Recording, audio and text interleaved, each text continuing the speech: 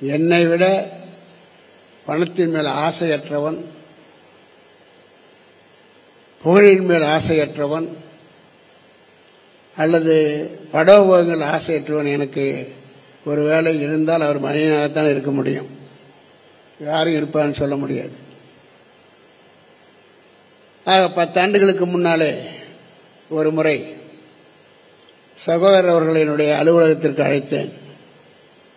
அந்த நேரத்தில் நான் ஒரு அரசியல் அமைப்பை ஏற்படுத்தி இருந்தேன்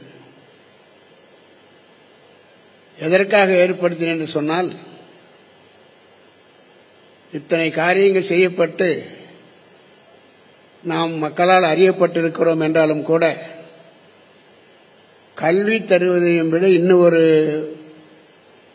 வேலை இருக்கிறது. அது இதை விட மிகப்பெரிய சேவை.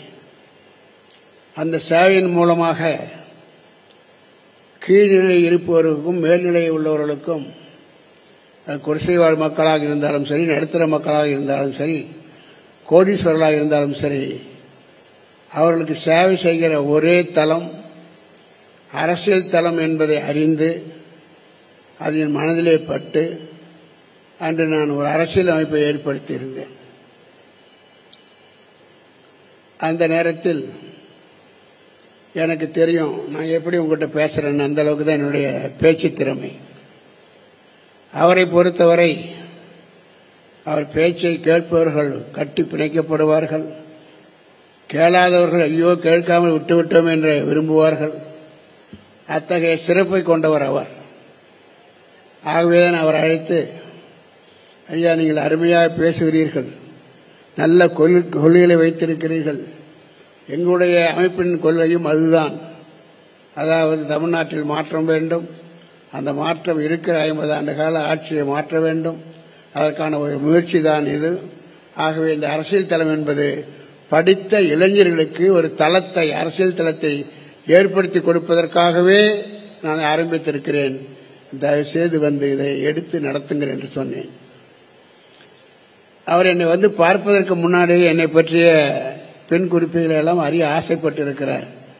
இவர் அழைக்கிறாரே போகலாமா வேண்டாமா? நல்லவரா கெட்டவரா? என்று தெரிந்த ஒருவரிடம் கேட்டுவிட்டு பிறகு என்னை வந்து பார்த்தார். என் தேவையை அவரிடம் சொன்னேன். கேட்டார் புரிந்து கொண்டார். ஆனால் அன்று அவர் அதை எடுத்து நடத்துகிற மனநிலையில் இல்லை. காரணம் எனக்கு இதுவரை தெரியாது. ஆனால் என்றாலும் கூட தமிழ்நாடு எப்படி அரசியலை நடத்தி கொண்டிருக்கிறது என்பது ஆட்சி என்பது பேச்சால் வந்தது. தமிழ்நாட்டை பொறுத்தவரை ஆட்சி என்பது பேச்சால் வந்தது. பேசி பேசியே வந்தது.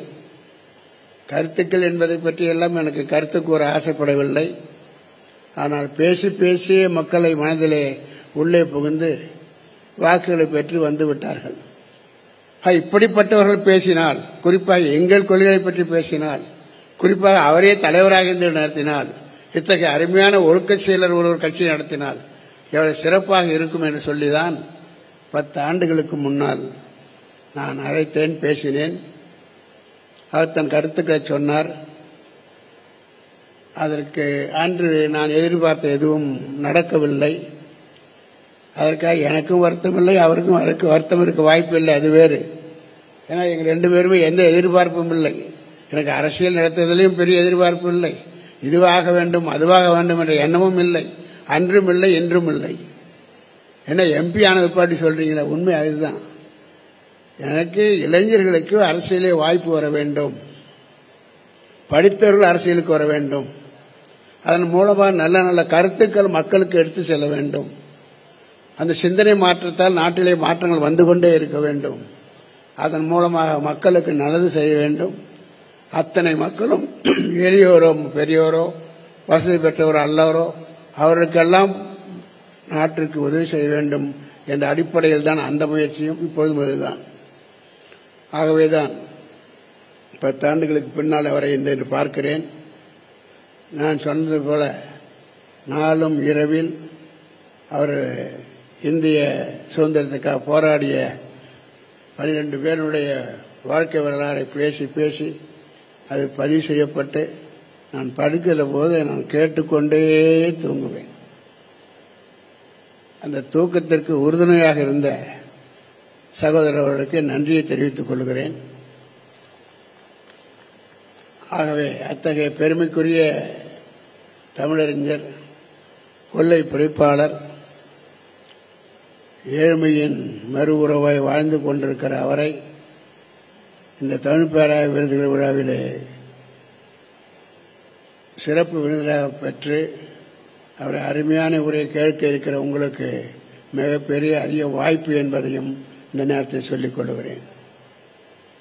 அதோடு இந்த நேரத்தில் இந்த தமிழ் பேராயம் கொடுக்கிற விருதுகளை பெறுகிற தகுதியான அந்த பெருமக்களை சான்றோர்களை நான் வணங்கி மகிழ்கிறேன்.